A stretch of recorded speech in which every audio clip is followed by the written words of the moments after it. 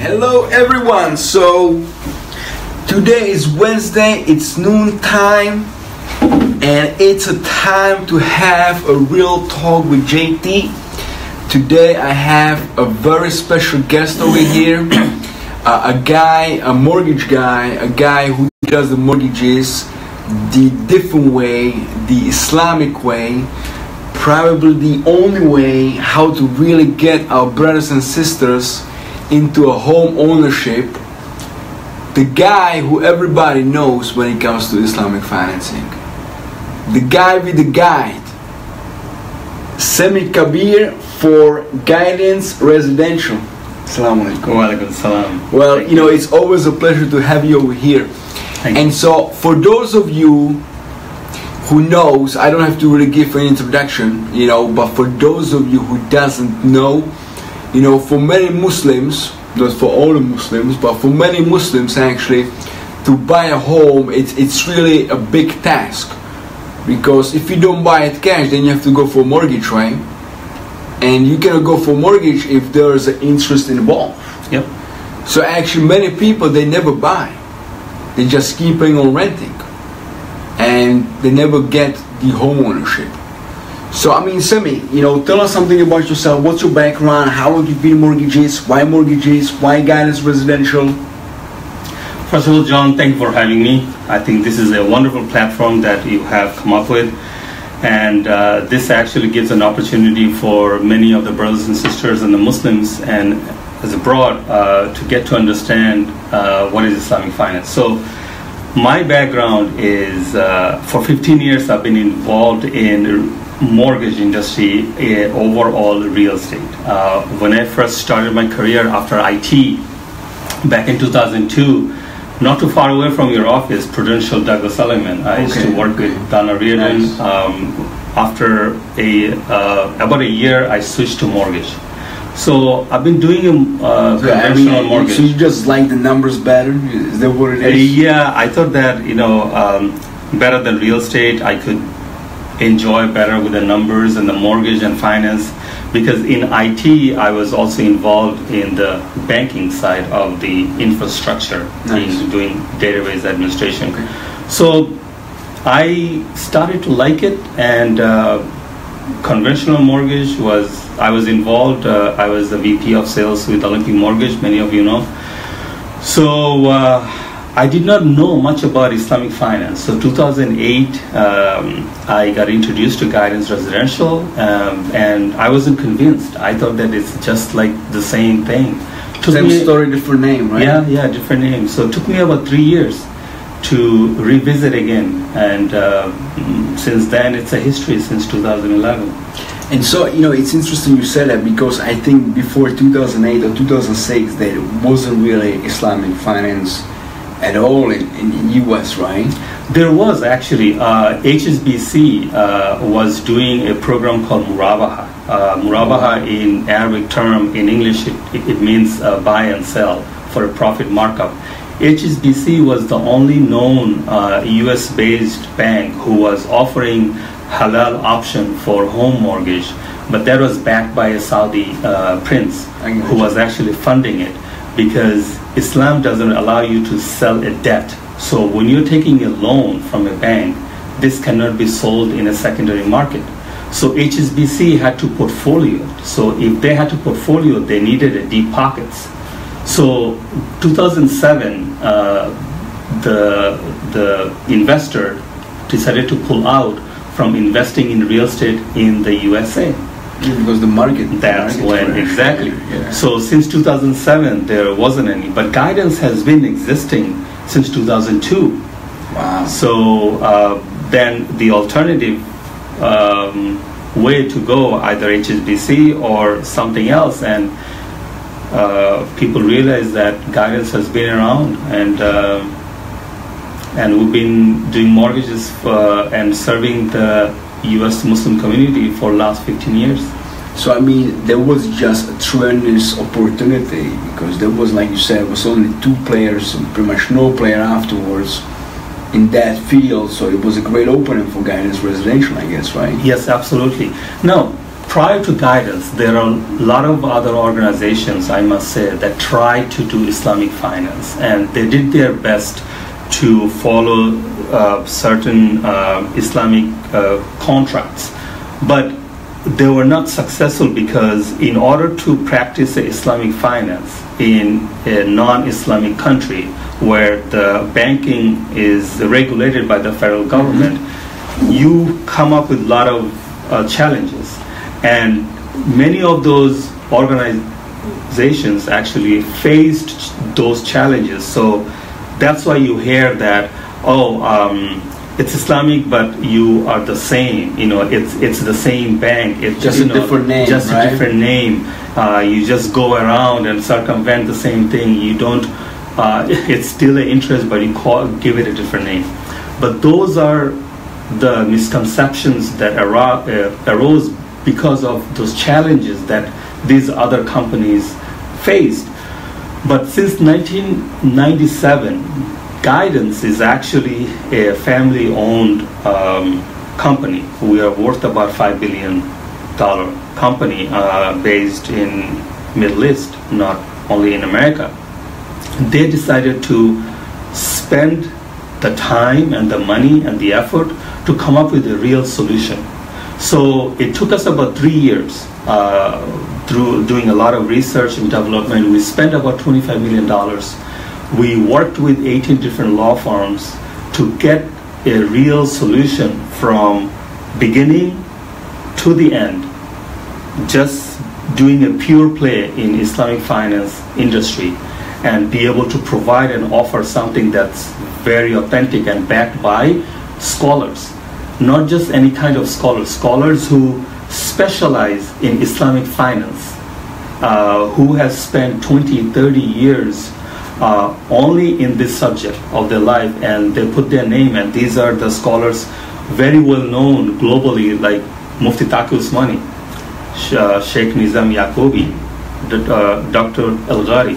Um, many of these scholars globally um, who tell you that in which country how you should perform a Islamic finance in that country and which program you should use and follow because Islam gives you a broad. Why, why, why every country is different? Is it based upon the, the laws and the regulations or just ethnicity? Why is that? Well, before I answer that, I must clarify that Islamic finance, there's no such thing Islamic finance. There's a Sharia law for Muslims to follow, right? And then we probably will talk about later on what is Sharia. Many of us know it's a way of life. So Sharia has to be followed with the law of the land. So if you want to do a finance or any kind of a transaction and that happens to be a financial transaction, it needs to be intact with the Sharia law, not compromising it, and at the same time following the law of the land. So combined together is the result is Islamic finance. So in Islam, many of us are, are my background is from Bangladesh. I come from Bangladesh.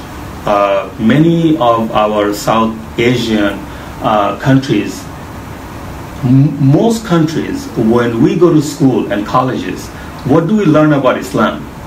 What I know that I haven't seen in my country that in the college and schools in curriculum there's something called Islamic economics.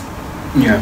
We did learn about uh, the stories of our prophet and you know the history uh, of Islam, but what about the Islamic economics? It's not taught.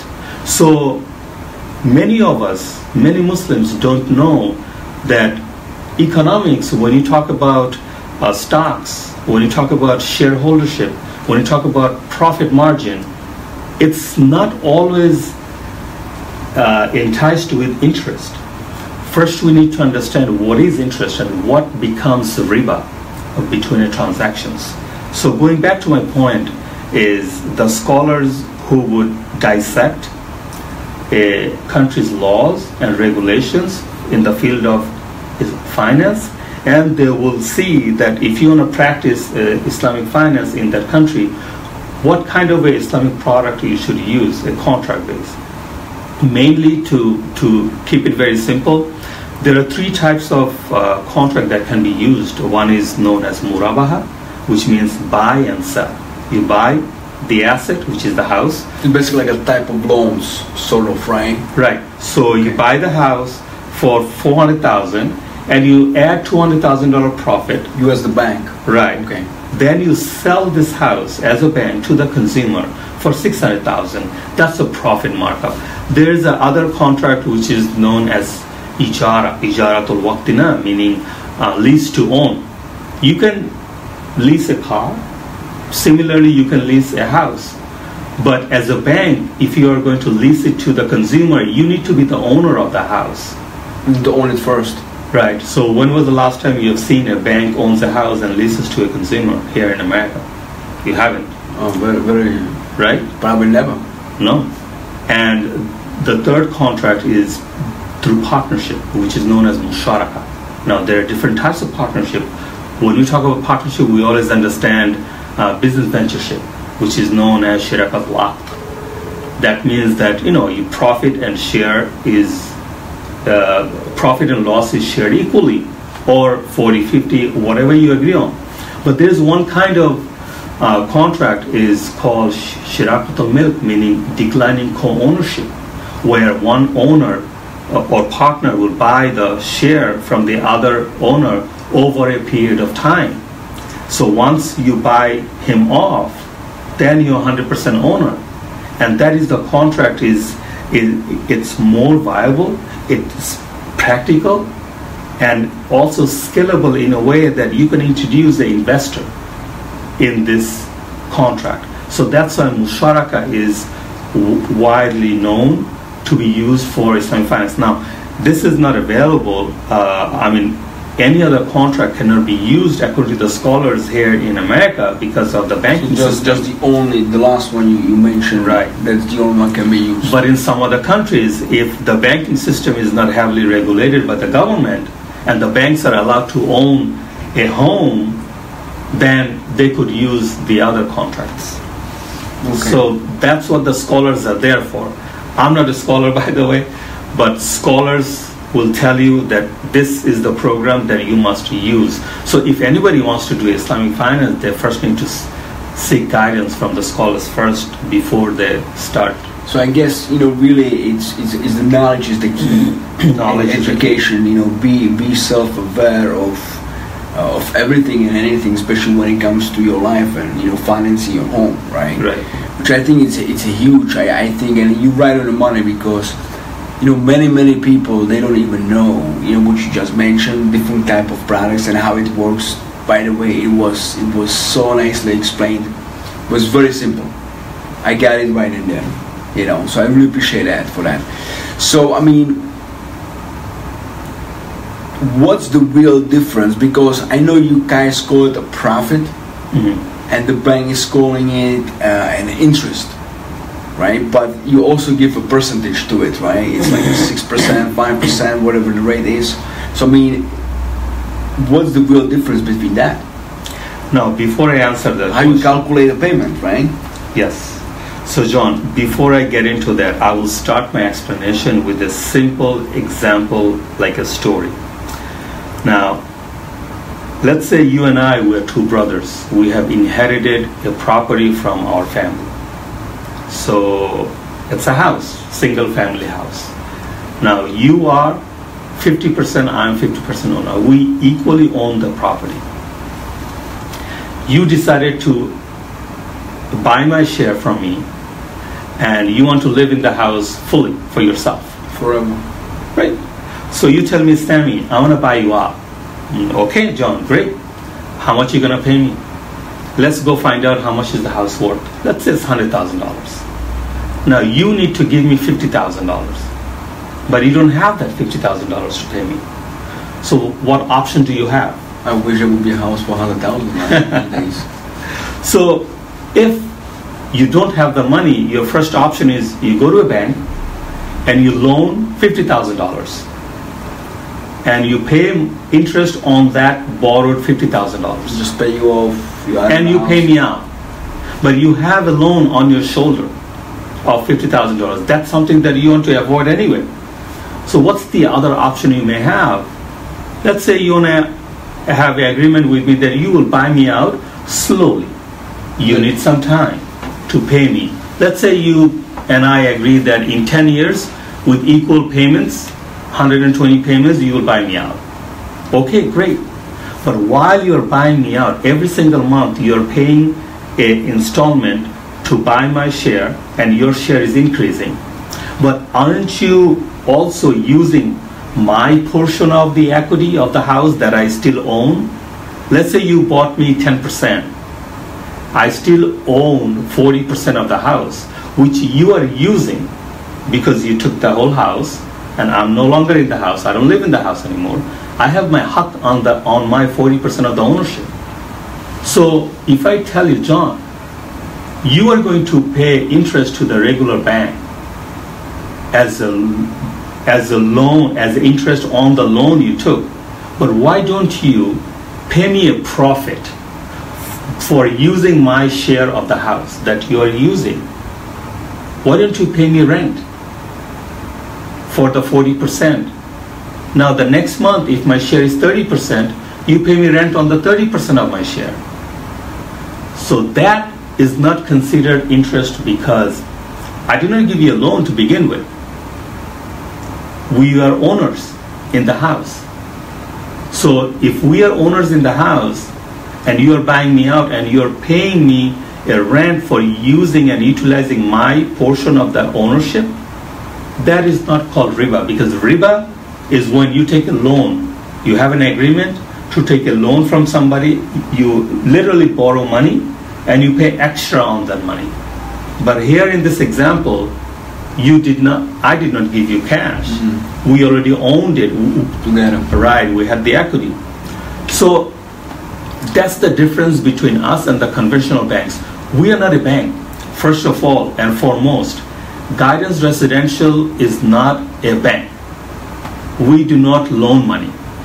We are a private equity firm that we where we become partner with you on the property. Mm-hmm. And you buy us out, and while you're buying us out, you pay us a utilization fee for using the portion of our property. But so how is the utilization fee calculated? Because let's say if regular mortgage loan is five percent, right? You know, from my experience, you know, the guidance or any Islamic finance is generally speaking is going to be higher than that, right? But how do you guys calculate that fee? The fee is calculated for what is called benchmarking. Okay. If you were to go to a bank and borrow money and pay interest for that example that I gave, if you're going to pay the bank a certain percentage of a profit, whether it's as an interest, but at the end of the day, it's a profit. You could pay me similar profit, little more or less. So that means that be, should be less. Because my my brother, you charge, charge me less. If we are family members, it's a different story, right? Now, here we actually try to be as close to as much it would cost you. Now, we cannot be like the regular bank. We are not federally funded. But why not? We are not taking any loans on 2% from the federal government and then selling it on the market for more profit or so who, interest. Who, who's financing it? It's our own funds. Okay. Guidance Residential, as I told you, uh, it's a family. Um, I can give you the background of the family. They have um, offshore, um, um as I said, uh, uh, private equity firm. Um, the company is worth over five billion dollars. So we used our use our money. We finance the house, and then we introduce an uh, investor who would buy our share, and then we liquidate our money, and then we finance again more. Because Islamic finance, like I said previously, it has to be scalable. And if you can, if it can be scalable, that's when you can continuously serve the community. Right. right. So I mean, so what you're saying, so it's it's it's many, it's many ways similar in a way, like a traditional finance, but there's little tweaks and whistles to it which you know regular banks they don't really have it right because they don't have the Islamic aspect of it in mind of course but like a traditional banks you know you, you, you close on the loan you service it for some time and then you will resell it to the to the market right so I mean how how is the investors you know buying it really Now, when we went to Freddie Mac at the beginning, back in 19, you know, wa- 1997 and between 2002, um, Freddie Mac, uh, we approached and we said that we are not going to loan money to homeowners. We are going to buy the house with the homeowner, and we're gonna be co-owners partners partners. And then we want you to take that contract that we signed with them, which is not a promissory note, which is not a loan loan agreement, which is a partnership And buy from based on Islamic uh, faith, and we want you to buy it as an investor. And we're gonna sell it to you. We're gonna liquidate our funds, and then we go and help somebody else. We're gonna sell it to you. Freddie Mac says, "Are you out of your mind? are you crazy banks are not co-owners with homeowners. We put liens on the property. We, you know, we sign a promissory note. We buy a promissory note. So we went back and forth. Uh, after three years, uh, finally we got it approved, and, and they agreed. And we are now the largest Islamic financing provider in the USA. Uh, we have financed over $5 billion already in last 15 years. We served about 18,000 homeowners. wow Right now, we are operating in 28 states, including New York. That's pretty impressive. And That's everything uh, within how many? You said 15 years? Yes, we've been over 15 years. Wow. Right. I mean, uh, what is the promissory note and why why you don't have the promissory note? Let's say, you know, you, you partner with me, I bought a home, I, I get a mortgage, uh, whatever financing from you, and then I just can't pay. I don't want to pay. I don't want to pay you. How are you gonna get, get your money back? My favorite subject, you're talking about promissory note. Uh, promissory note is what is everybody should know when you are taking a loan on a house from the bank what you signed is called promissory note this promissory note has so much in it if a regular person would realize they would never go to a You bank mean like the good stuff in it? like, it's the promissory note let's say that it gets you by the neck you mean like foreclosure? and foreclosure. default and- This promissory note gives the bank the right to foreclose on your property and go after your other assets if they cannot recoup the loss. This promissory note tells you that if you cannot pay monthly payment, they will accumulate the total, charge you 5% of the late fee. Next month, they will accumulate the total again, 5% on the entire total compound interest. This promissory note goes on. If there is an eminent domain, the government would like to, or the city would like to buy your property, and they want to build something, and they're paying you less money than what you owe to the bank, then You're still liable to pay them. first of all, you are forced because the city is Yeah, yeah, yeah, There's no yeah. law to protect you, so you're gonna have to give it up. And then again, the bank also is sitting and waiting for you to give them the difference. Where are you gonna find the money from if you don't have it? So they have the right to go after you. You have 401k, you have retirement funds, you have other properties under your wife's name or family. They have everything, so they get you by the neck. That's called promissory note. I can go on, but it's very uh, disturbing to realize that how much of a risk that one can take when buying a house through a riba-based mortgage system, and that's why it's so easy with them. It's very easy for you to go. You know, we always hear that, oh, conventional banks is so easy. I go, they don't ask me anything, and they'll, they will give you the mortgage, they will give you more. Sure, they will give you. That's the business, that's why they're there for. We don't have those.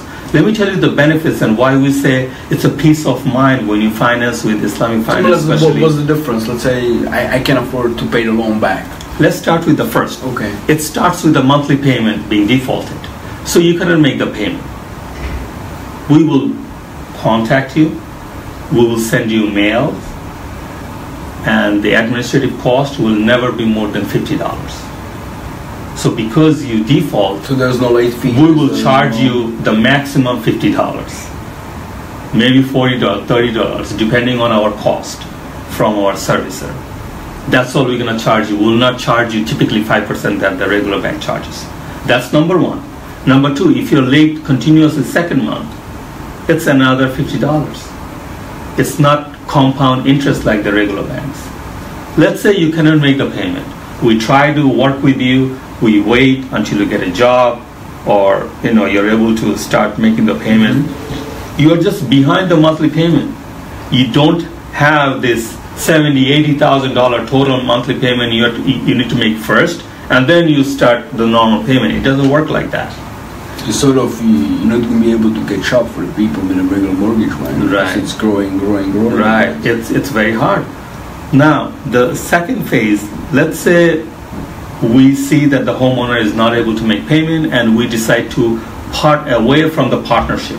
So we need to sell the house to recoup our remaining equity that we own and give back the equity of the customer.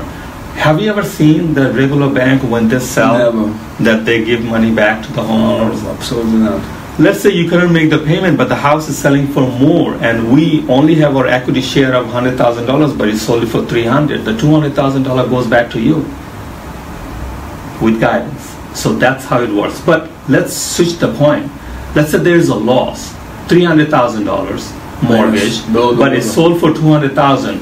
Hundred thousand dollar, we never will come after you. It will be in our book of loss. Regular bank will come after you for the hundred thousand dollars negative judgment on you. And it will remain right? So that's the difference with the foreclosure. So you do have a peace of mind. So I mean, what you say is it's not only a good product for Muslims for the Islamic from the Islamic perspective, but even for for everybody. it's for everybody. By the way this is not for muslims only. This this uh, our program is available for everybody in america. Wow. I mean, you know, we have a question over here. We have about three minutes, you know, to go. sure Uh, I think we have a lot more to cover. We, I might have to ask you to, to come again and be Sure. our guest on the show one more time. But I actually have a question over here from Peter Carlin. Uh, Peter actually he's a mortgage banker himself. oh, nice Okay, but he he practices the regular financing, okay no not the regular. So Peter, thank you thank you very much for asking the questions. And here the question: Do you have anything similar to a no tax return option? That's the first question. The second question is: uh, Hi, thanks for sharing. Why is it okay to earn money, a profit, the way that you are structuring the deal versus it not being okay charging a traditional interest? Your method appears to be workaround. So that's I, I think we, we covered it.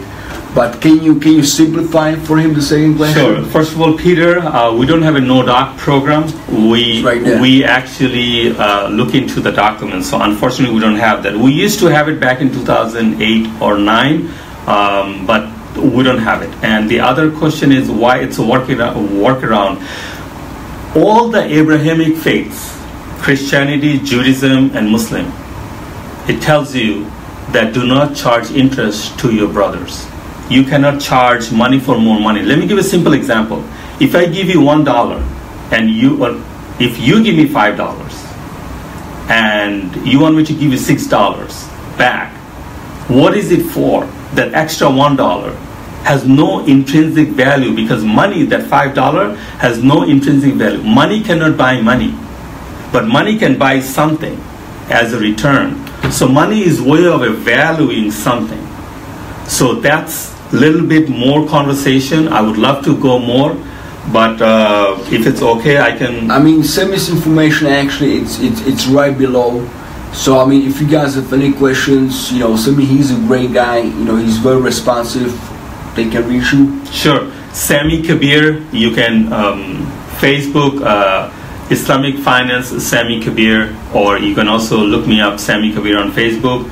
If you don't find Google Sami Kabir, uh, it's going to come up. You can also go to our website guidanceresidential.com. Our office is right here in Jamaica 171-21 Jamaica Avenue. Our team is sitting here to help the community and everybody else one more question, if I can, Sami. Uh, this is from uh, Asif Kadir, uh, my brother from Pakistan. He's from Washington D.C. Uh, a realtor, very powerful guy, great guy.